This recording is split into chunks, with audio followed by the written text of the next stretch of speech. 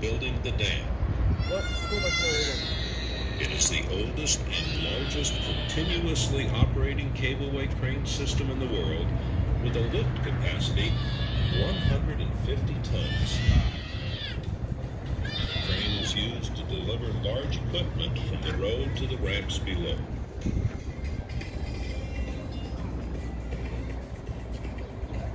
Looking at these canyon walls, one can marvel at the tenacity, courage, and skill of the fearless men that perform some of the most dangerous undertakings on the Boulder Canyon Road.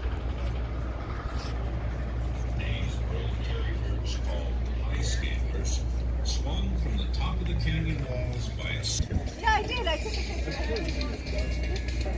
Here, you want a picture of your? Just gonna get that picture you guys with your RV up on the hill. It has been said that in the shadow of Hoover Dam, one feels that the future is limitless, that we have in our grasp the power to achieve anything if we can but summon the will.